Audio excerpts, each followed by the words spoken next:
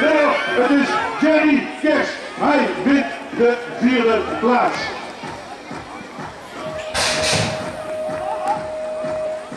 Jamie Brink, dat is de man die hier het snelste weg is. Jamie Brink. En dan zien we twee mannen daar uit Wiegen vandaan.